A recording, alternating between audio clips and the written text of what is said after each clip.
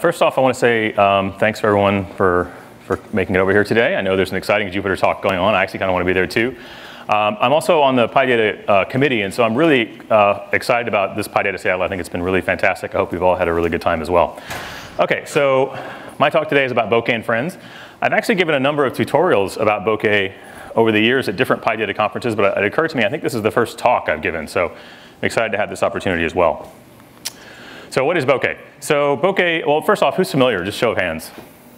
Okay, a lot of you. Well, I'll try to run through quickly the, these parts. Um, and then we're going to have a little bit of a status update about where sort of bokeh is. And then we're going to talk about a few extra things that are sort of being built on top of or around bokeh as well.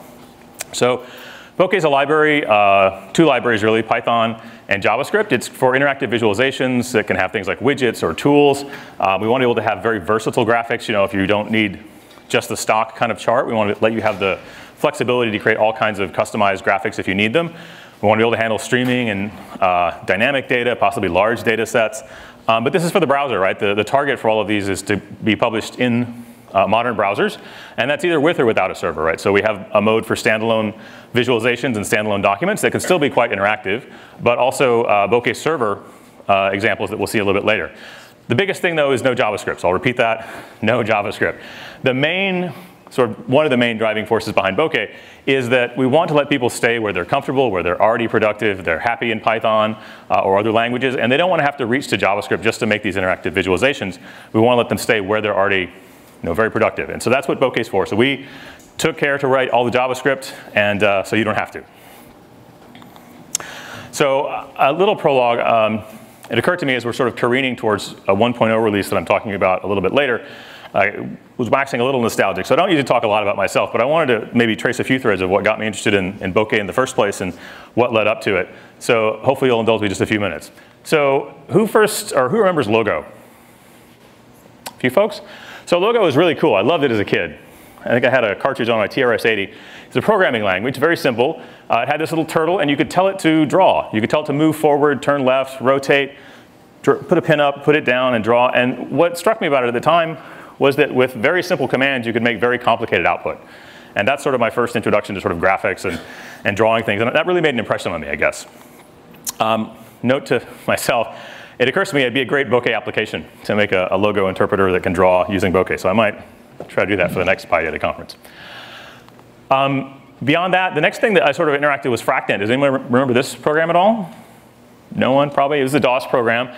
Let you draw fractals. And what at the time I thought was really amazing was that you could connect pictures you know, to math. And you could actually zoom in and out. Like you could zoom in and out on these images and it would take progressively longer and longer to draw the image because as you got further in, the precision was more and more. And so it, you know, it would take much longer to, to zoom way in. But I loved it you know, when I was younger and, and I thought it was really cool that you could connect sort of mathematical ideas directly to, to images. And that's very important.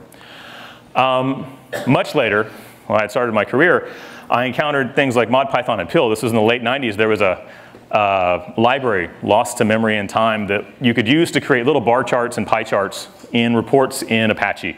And so I worked at a wafer fab at the time, and so we, we used this to generate these reports, and I was just amazed. I was like, this is incredible. You can have real data coming in real time, and you can generate these picture you know, right on the fly. And I thought that was really awesome. By any standards today, they were very simplistic, but at the time, you know, I was truly, truly impressed. Around the same time, I also made my first contribution to open source software, sort of first exposure to it really, uh, and that was to VTK. So VTK is the visualization toolkit. Anyone familiar with VTK? A few folks? It is an enormous C++ library for 3D visualization pipelines. Um, it has bindings in Python and I think Perl and Tcl even, but um, I was using it for some projects at work and so I, I, forget what my contribution was, but it was some minor contribution, but um, as I would later find out in my own life, uh, minor contributions are really great to have. They really add up. And so I made my first contribution there. A little bit later, I worked on another open source library, uh, quite a bit more. It's called Chaco. Chaco was a bit contemporaneous with Matplotlib. It sort of, uh, I think there was a foot race for a little, a little while, and then uh, eventually Matplotlib won out. Chaco was really geared towards interactive visualizations and rich clients. And it was really nice, but I think there were some lessons to learn for it, uh, from it. It was definitely very fiddly. Uh, it was kind of verbose, and so it was kind of hard to put together. And so I'd like to think that I've learned some lessons from Chaco um, that we've been able to pull forward into Bokeh. Um, a little bit later, I also worked on Conda. So after coming to Continuum, uh, I was one of the first people that worked on Conda, and the thing I learned from that is that you know eventually users start paying attention if they start using your, your software, and they care that it works and that it's stable, and that's a pretty important lesson to learn. It's nice, you know, the nice thing about when a project starts is you don't have any users, right, and you can make whatever changes you want, but that's uh, maybe not such a nice thing after all. And then finally, Bokeh really sort of ties all of those lessons together and uh, brought us to where we are today. Um, Bokeh was started about four years ago, and uh, as I mentioned, we're sort of heading towards a plateau of stability, and I'm going to talk about that in a minute. So welcome to Bokeh. Uh, if you aren't already familiar with it, um, if you are familiar with it, I hope you'll see some new stuff today as well about Bokeh, as well as some of these other libraries that I'm going to mention. But uh, you know, it's certainly been my privilege, and I'm very grateful for the opportunity to work on an open source project like Bokeh that I really care about, uh, just to be able to give it away to, you know, to everyone. So just to give a little bit of context for Bokeh, I think at SciPy three years ago, uh, we had just released 0.5 and uh, sort of where we were.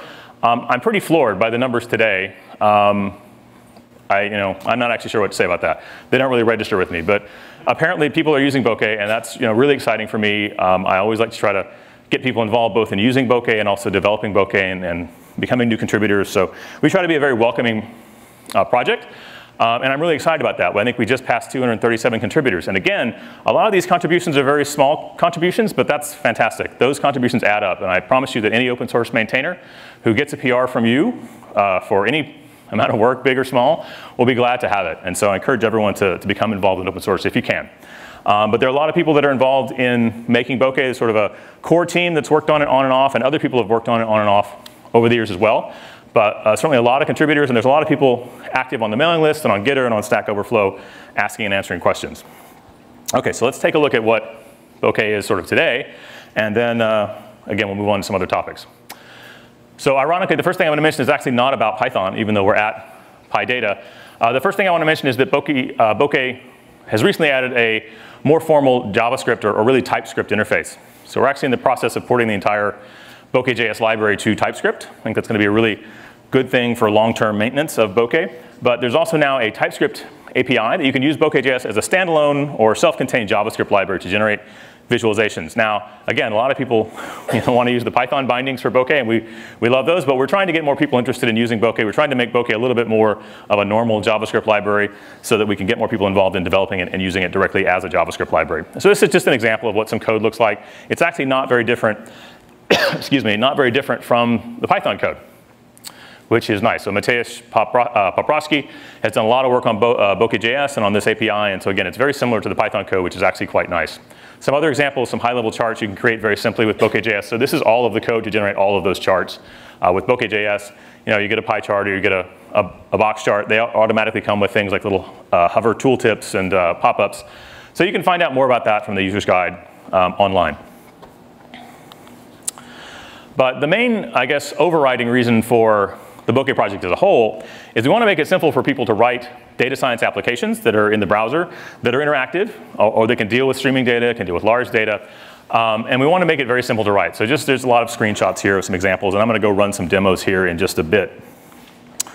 Um, but what do we mean by simple to write uh, data, data science apps? We mean that you can concentrate on what you're doing. They're written in Python, pretty much entirely. Now there's possibilities for using JavaScript to augment things, but by and large you can write entirely in Python. You don't have to worry about HTML or CSS or a lot of web tech. Again, the idea is you can stay where you're productive uh, and not have to sort of reach for uh, extra tools when they're not necessary. Um, it's also very simple Python. I'll show some examples of code in just a bit, but it's, it's just simple Python scripts. There's not necessarily any special classes or frameworks that you have to plug into. If you look at the code for Bokeh server application, it looks just like a simple script that you might write, you might write anytime. Bokeh, though, is also useful for exploratory analysis, um, but sharing or publishing. Uh, Bokeh, of course, works in the Jupyter Notebook. Uh, we're working currently on making it work better in Jupyter Lab.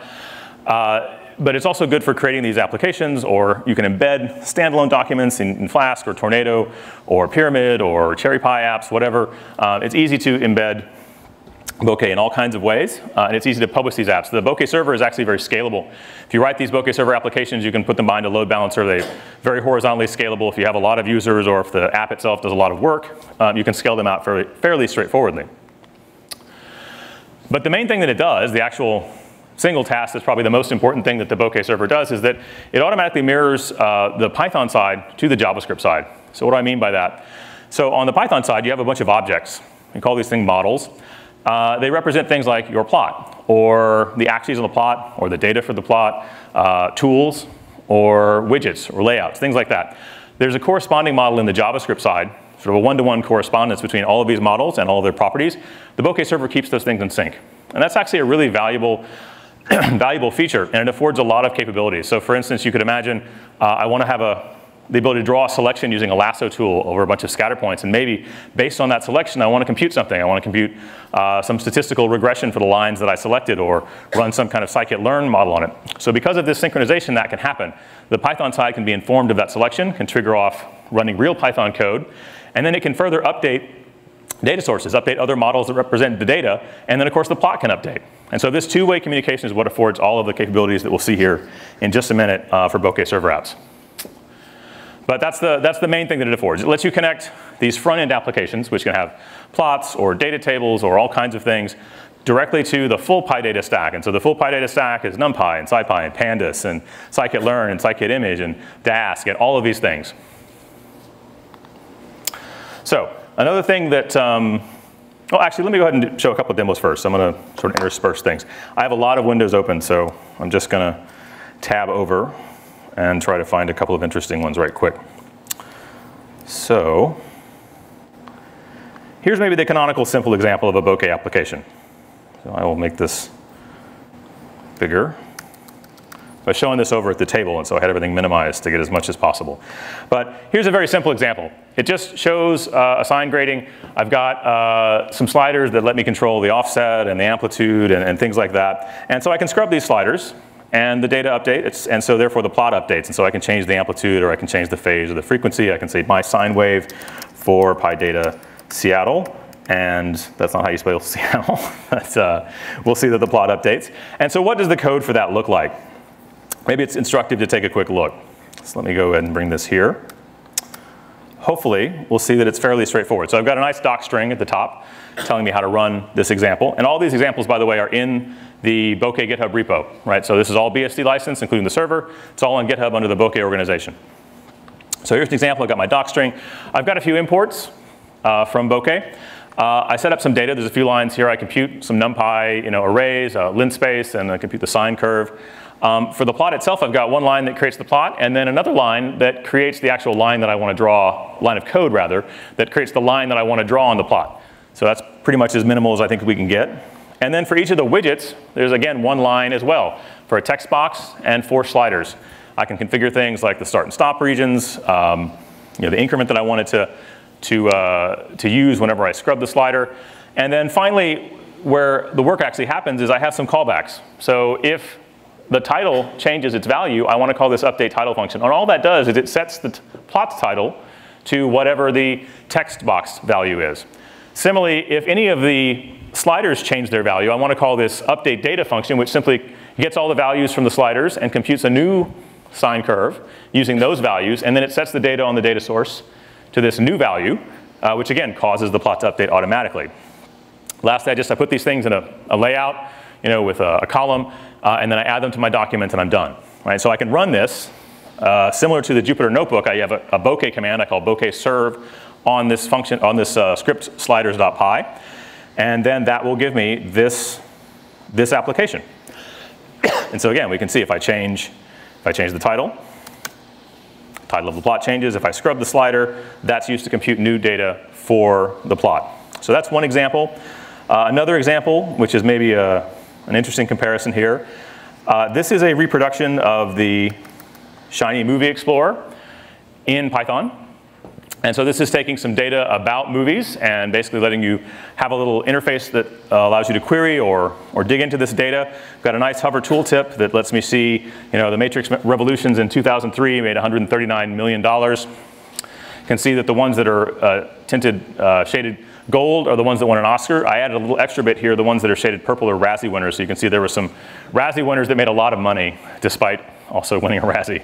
Looks like that was the Transformers. So, so what can we do this? So we can scrub, for instance, the number of minimum reviews, and we can see that this can update. Um, you know, filter by the number of dollars at the box office that was made, that sort of thing. Uh, minimum number of Oscar wins, obviously that's going to update the, the, plot as well. So again, this is meant to be a fairly direct comparison. People have asked the question, where is Shiny for Python? Hopefully Bokeh and, and some of these other tools I mentioned can fill that need and fill that gap. Okay, so that's a good example. Um, good one. If you, go to demo.bokehplots.com, there's actually several of these examples hosted you can take a look at. Um, there's our sliders. Here's another example that I like. It's fairly simple.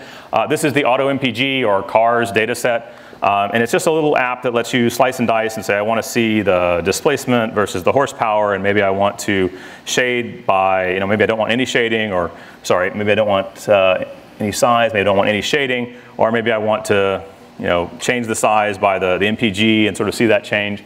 Um, and all of that just is fairly easy to write as a bokeh application. So that's another nice one I like to show off.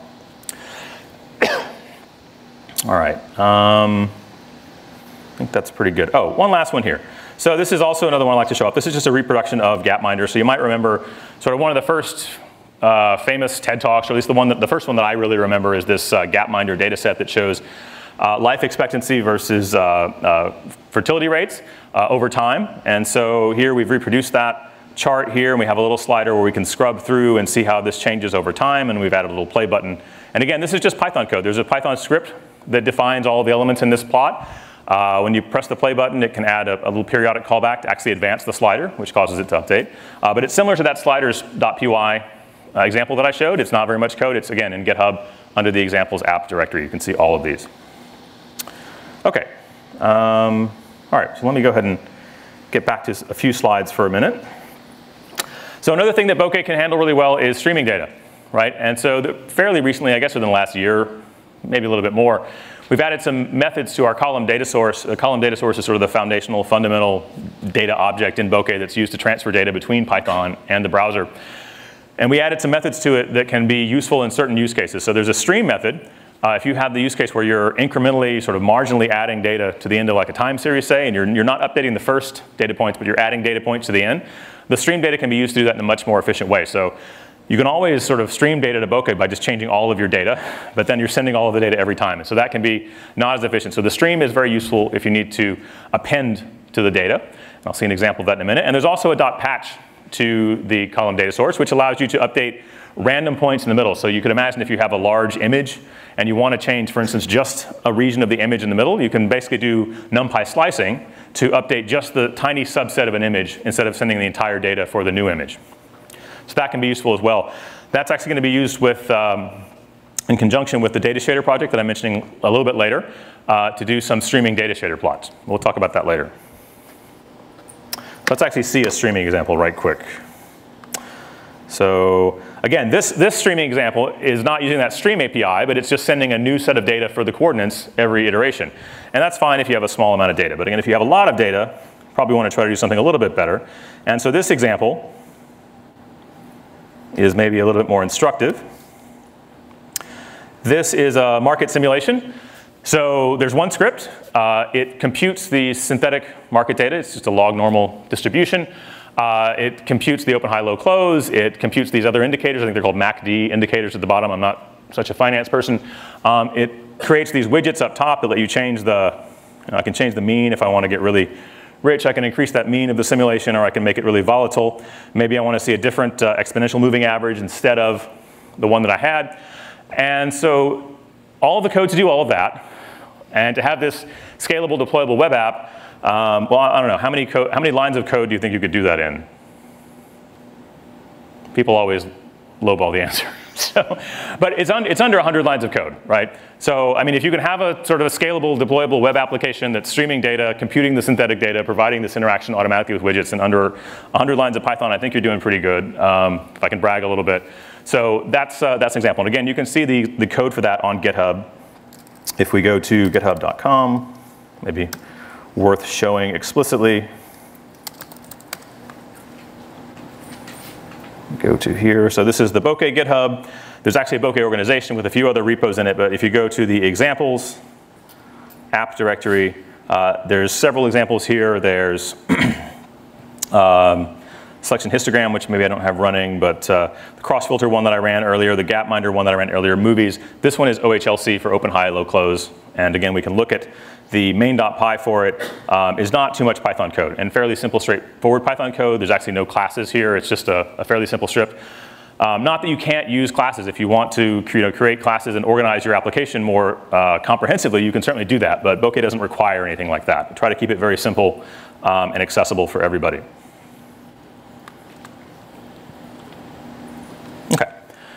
So um, the next thing uh, is to mention custom extensions. So maybe also about a year ago, we realized that as much as we want to do with Bokeh, we'll never, ever be able to satisfy every possible use case that, that users come up with. Because users have really awesome, interesting use cases, and they have a lot of things that they want to do that uh, are perfectly reasonable and sensible to, to do or to want to do, but that maybe don't make sense to put in the core library because then it adds a maintenance burden to the, you know, the, the few core developers that work on Bokeh. And so we decided that the thing to do was to make Bokeh more easily extensible.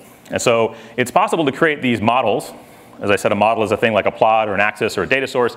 Um, it's possible to create your own models that have their own JavaScript implementation that you can then use just like a regular bokeh model, right? So you can create some custom uh, div here. It's a special slider display uh, that does something special. Maybe it displays the slider in a different way or wraps some other JavaScript slider. Um, but if you change the value, then automatically these properties, the text and slider properties that are mirrored in the Python implementation automatically get synchronized, just like any other bokeh model. It gets synchronized automatically. And so this is a very powerful way for adding extensions. So you can use this to add capability for things like wrapping different widgets.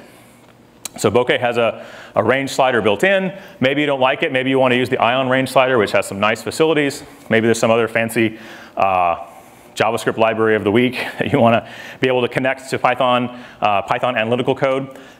you can use these uh, extensions to wrap those widgets. In fact, uh, this was used specifically uh, by Sarah Bird, who's a great uh, Bokeh developer on a particular project and she wanted to use this ion range slider, so she wrapped it and it worked really great.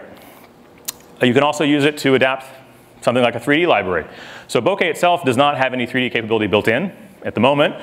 Um, I don't know what the future will bring, um, but you know, right now it's really focused on 2D visualizations, and, uh, and that's great, but you know, maybe you want to wrap some 3D uh, library. So there's several 3D JavaScript libraries that you could use, uh, that you could connect to, again, Python you know, you can connect to NumPy and SciPy and Pandas by making an extension that wraps it. So there's an example, Surface 3D, uh, that does exactly that, and you can see that. In fact, take a quick look. Don't know if I have it running, but I'll go to demo.bokehplots.com. We can see how things work over the conference Wi-Fi. So this is, again, so I wrapped this viz. So vis.js is kind of a, a simple toy 3D library, but I chose it just for its simplicity, but I made a little extension that wraps it, and so whenever I update the data source, it automatically adapts it to whatever vis.js is expecting. There's basically just a few lines of JavaScript translation code, and now I have this updating, interacting uh, 3D plot. And that's true for a lot of things. So anything that you want to put on the front end and connect to Python, Bokeh can offer you a pathway to do that. Uh, another thing that you can currently do is, for instance, add LaTeX labels. So I hope to be able to add more support built into Bokeh for this. This is asked for a lot, especially from uh, academic corners.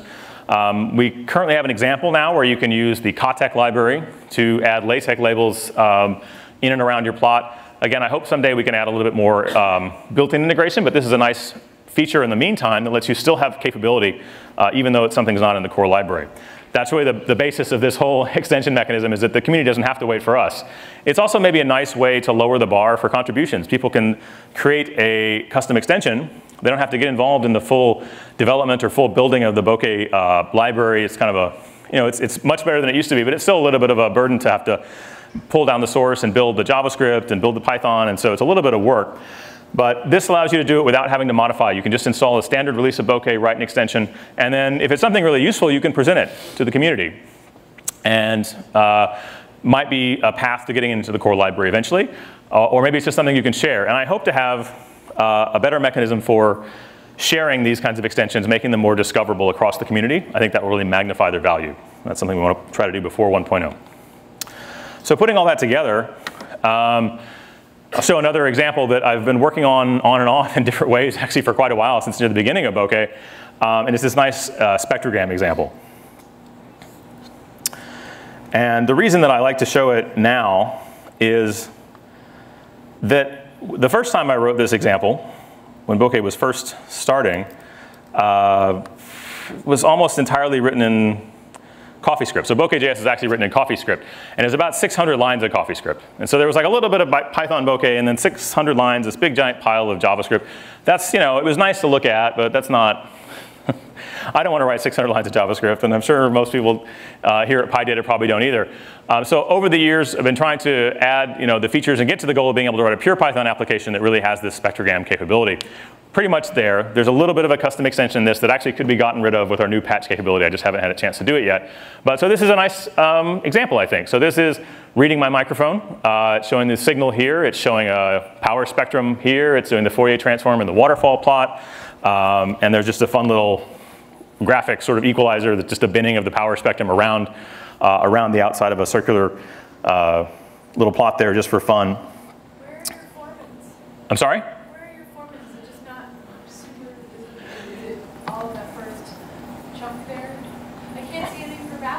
Ah, so, I, so this is meant to be an illustrative example. If you really want to make a very precise spectrogram, you probably need something a little bit better. I guess here's a nice demonstration. Though. Thank you for asking. So let's see. So this will be fun because at a previous conference, uh, Peter Wang, who was the co-founder of Continuum, but also one of the uh, uh, other people behind Bokeh, um, who I worked on, uh, or who, who I worked with on Chaco many years ago. Uh, he instructed me to whistle in the middle of one of my talks, whereupon everyone found out that I don't know how to whistle. But uh, so let me go ahead and find a, a tone generator, and so we can maybe see something a little bit better here. So we can see a nice spike.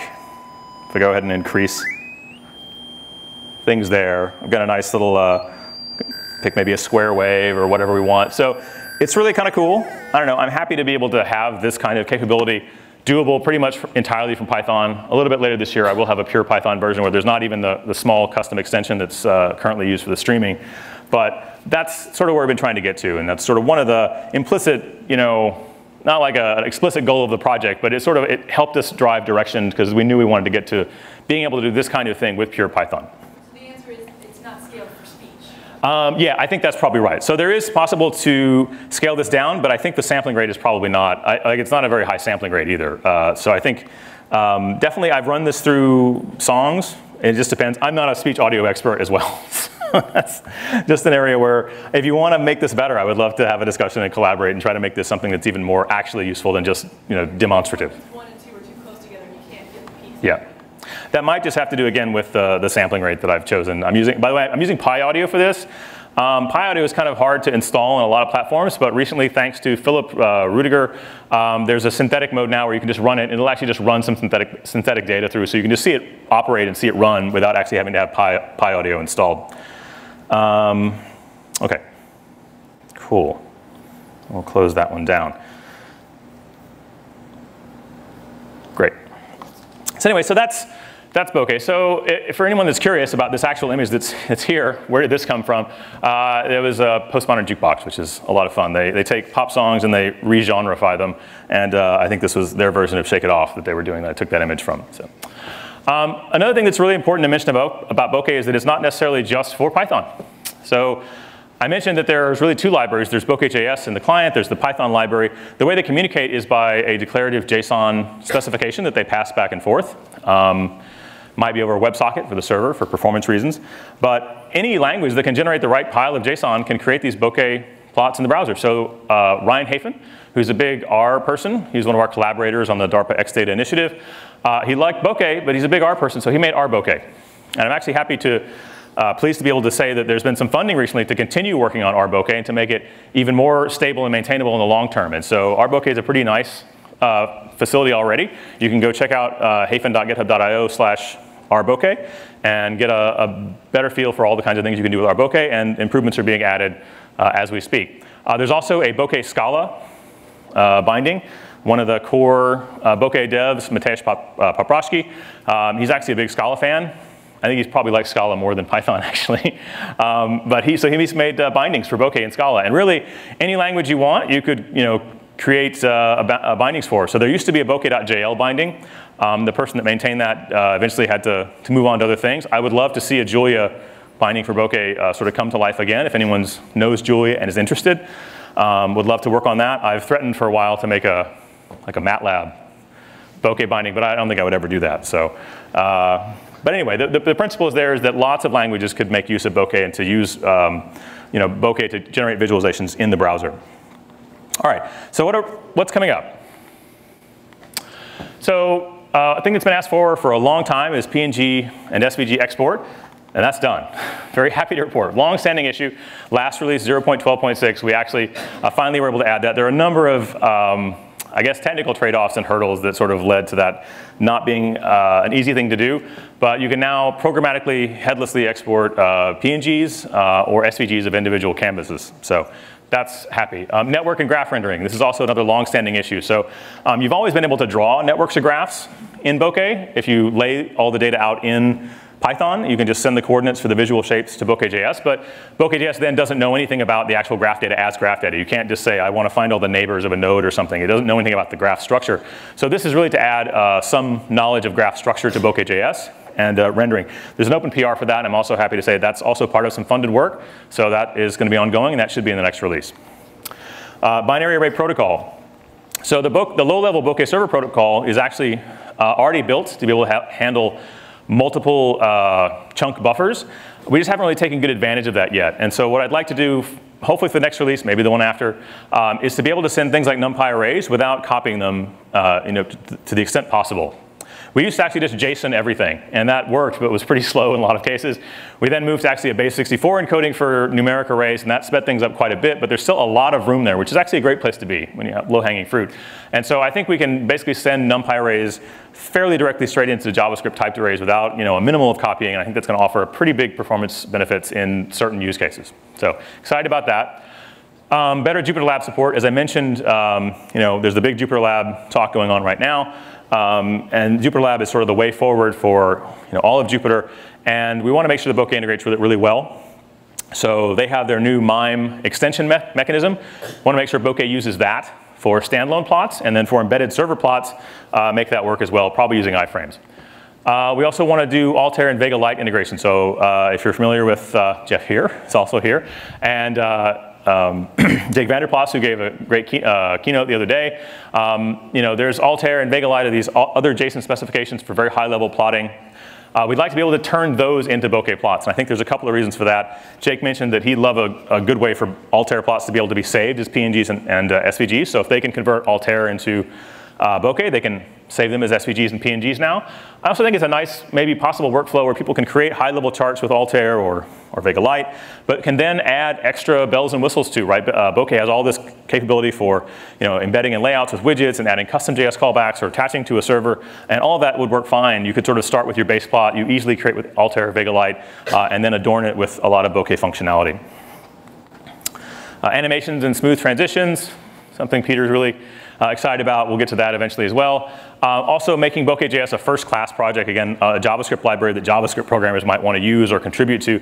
Uh, I'll take full, full responsibility. Bokeh.js is kind of a weird, oddball JavaScript library. I didn't really know any JavaScript when I wrote it and uh, sort of got by on the strength of my previous experience working on visualization tools. But it's kind of a weird library, and so we're trying to clean it up, convert it to TypeScript, make it more easily installable and usable, and uh, uh, something that other JavaScript developers might want to look at. Also want to expand WebGL capability. There's some current partial WebGL capability. Um, it's a little bit hard to maintain. The people that were maintaining the WebGL capability don't really work on Bokeh anymore, but uh, I want to look at a library called regl, which I've seen some really good things about lately, which I think would be a, a better fit for Bokeh uh, in terms of adding uh, expanded WebGL and, and, more supportable WebGL uh, capability. So I want to look at that soon as well. Uh, and then 1.0. So we have two releases planned, uh, 0.12.7 and 0.12.8 uh, and then a round of more polish and cleanup, and then we want to have our 1.0 release. So this is pretty much the list of important things we want to try to do before 1.0, and it's not a very big list, although some of the tasks are somewhat involved. But apart from that, of course, there's lots of, uh, again, polish and bug fixing and uh, expanding the docs and things like that. But I'm, I'm happy to say that we're you know, not reaching a point of completion, but really you know, a point of a plateau of stability. Uh, we want to make Bokeh something very stable for other projects to build on. So let's talk about some of those. So one of them is HoloViews. So HoloViews, first let me say, should be considered a replacement for bokeh.charts. So we tried to add a very high level charting API directly to Bokeh. Um, the, again, it's a matter of maintenance. The folks that worked on that don't really work on it anymore. Um, and when you have to allocate scarce resources, you have to make decisions. Uh, we decided to trying to make the core of Bokeh as, as, solid as possible was the best use of resources, especially because there was this other project, HoloViews, which already existed and was great, and they added Bokeh integration. Uh, I work with some of the developers as my colleagues. Um, I would say HoloViews has already surpassed where Bokeh.charts was in pretty much every regard, uh, and I would encourage everyone to use it going forward. If you want a high-level interface, on top of Bokeh for sort of exploratory data analysis. Um, you know, very high level uh, HoloViews is what you want. And so let's take a look at some examples. So really the idea behind HoloViews is that you annotate your data. So here you might have a pandas data frame, and I want to specify what are the key dimensions, what are the value dimensions, and then I just call scatter on it, I get a scatter. And that's fairly simple and basic and something that you would expect and hopefully not too much, too much work. But you can also do things like have compositional layout. very simply. So here, for instance, I've got my scatter, and I might want to call hv histogram on the histogram of the data, and now I can simply get this nice layout without having to expressly import or call you know, row or column layout primitives. Um, another thing we can do with HoloViews is slice and dice. So here I've got a bunch of data, and I want to use this ds.select to select a few different states uh, and a few different years there. And then I want to pass that to my HoloViews bar charts, and now I get this nice grouped bar, automatically you know, cycles colors, that sort of thing, automatically generates a legend. Um, so again, it's a very high level interface on top of Bokeh, and I would encourage everyone to take a look at it. Another thing we can do is easily interact with our data. So HoloViews, as I, I said, it's really, it's, um, as opposed to a data visualization language, it's almost a uh, visualization data language. That's kind of a subtle distinction, but it's really about annotating what are the different dimensions of your data so that uh, HoloViews can decide what to do with it. So you can say, I want to attach these di dimensions to visual quantities, and if I don't do anything with the last dimension, HoloViews can, for instance, automatically pop up a slider. So now that I can scrub through and see the different hours. And as I mentioned, if you actually look at one of these HoloViews objects, you can see that it really is just, it's the data with some image, you know, the image data is, for instance, an xarray or a NumPy array, but then there's some annotations that specify what are the different dimensions represent. Uh, going back to easily interact, you can also create Bokeh server applications with them. Right? So HoloViews now allows you to create Bokeh server applications with perhaps considerably less code. So here, for instance, is instead of that HoloMap from the last slide, it's called a dynamic map. There's a function called interactive Clifford that I'm not showing here, but it's in the documentation, which creates this Clifford fractal. and it simply, this is the entire amount of code, right? I, I, I give it that interactive Clifford that can generate the actual data for the drawing and pass it to my dynamic map set my ranges. It can automatically attach the stream for the pointer. So now I have this interactive pointer. It creates sliders automatically for the things that uh, the dimensions I haven't specified visual properties for, uh, and everything is sort of here. So let's take a look, I go back, at maybe a couple of actual examples from HoloViews. So first off, the HoloViews documentation is fantastic. Um, I'm embarrassed to say that the HoloViews devs have actually managed to use the PNG export capability before I was able to use it to automatically generate thumbnails for their gallery. And they have a quite extensive gallery. They have a lot of things going on here in their uh, gallery. They also have this reference gallery that's sort of for more you know, simple, task-oriented uh, gallery that's here. Uh, but they also have the, the main gallery, which is a bit more uh, sophisticated examples. So anyway, we can take a look at a bunch of those. Um, here's a nice one I like, this measles example.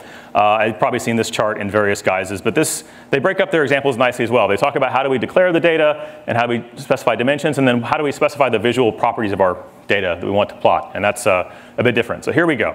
So this is a nice plot. It has all of this, and it's not too much code to generate. I think I'm actually running way behind time. Um, show a couple more things. Uh, there was the measles one. Census. Sorry. Oh, here we go. Coming back to uh, fractals, here's a nice bokeh application that, excuse me, uses uh, HoloViews to generate a bokeh application that again now can update, and I can update the histogram on the side. Um, it sort of comes back to that Fractint thing that I had before. They wrote that as well. Um, this is also using Datashader, which I guess I may not actually have too much time to talk about. This is a full 15 million point data set, the New York City taxi data set, and it's generating that cross section using Numba to efficiently slice that out. And again, HoloViews to sort of compose those things together. Maybe in the last couple of minutes here, uh, I should try to say at least a couple of words about Data Datashader, at least the slides. I think I have two minutes, is that correct? One minute, okay. Sorry. Um, I like doing demos. All right, so last few seconds here then. Datashader is a library for dealing with larger data sets. If you have a lot of points, um, you have implicit problems with them. Uh, overplotting, uh, you saturate all the pixels. Um, you can try to apply alpha. You still can end up with overplotting. If you set the alpha too low, it's underplotting. Binning problems if you decide to do that. So Datashader is a, a, pipeline for doing rendering. Tries to solve some of these problems automatically and across large data sets. It works really well with Bokeh. Um, if you use uh, I have that slide in the wrong place. Never mind. Dask was used by Bokeh to create a nice Dask dashboard. Um, lastly, there's some resources here if you download the slides from the link I gave at the beginning. Uh, and lastly, just you know, download it, try it, contribute, and if it's appropriate, engage with us some work. Uh, all the commercial uh, engagements definitely help support Bokeh and, and help us inform our open source. So sorry I didn't leave enough time for questions.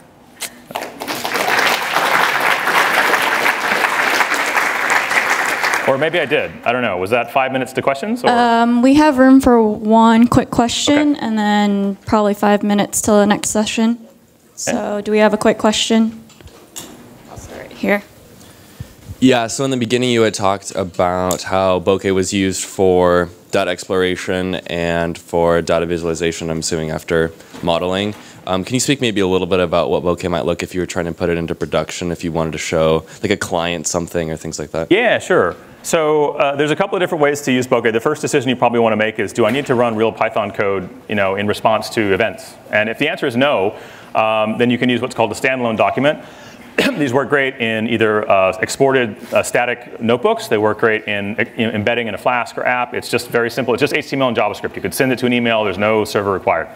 If you want to have uh, actual Python code run, if that's you know uh, what you want to do, a selection triggers a scikit-learn run or something like that, then you want to use the Bokeh server. And so then there's a little bit more to deal with because you have to figure out how do I want to deploy this. There's quite a lot of instruction in the user's guide about how to deploy behind, for instance, Nginx or behind Apache. Um, and there'll probably be some services in the next year that help uh, automate that orchestration. And then there's a lot of information on the mailing list as well. But that's the first decision to make is do I need to run Python code? Uh, if I do, I want the server. And if I don't, then I can probably get away with a standalone app, which will be a little bit simpler in terms of uh, deployment. But the code is, like I said, if you look at the examples under examples app, they're all fairly straightforward, simple scripts. To run it, you just run bokeh serve on the directory or the script. Uh, and again, if you need to scale out, they're typically horizontally scalable. They don't share state, so you can just run more behind a load balancer. You know, if you need, if you have 10 users, you can run one. If you have, you know, 10 million users or something, you might need to run quite a few more, depending on what the app does. It's sort of a trade-off between how much work does the app actually do versus how many users, right? I mean, we can't predict, Bokeh doesn't make the work disappear, right? it's got to be spread across, you know, whatever amount of compute you have. And so that ratio is going to depend on what the app does and how many users you have.